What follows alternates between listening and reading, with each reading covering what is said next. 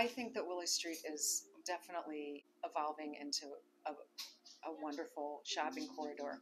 I do think it could use some more retail, small maker businesses. There's so many great artists in this community, and I do know that they're looking for spaces to rent. So, hoping that landlords will help accommodate that. I think what Willie Street is becoming and what it should be is what State Street used to be.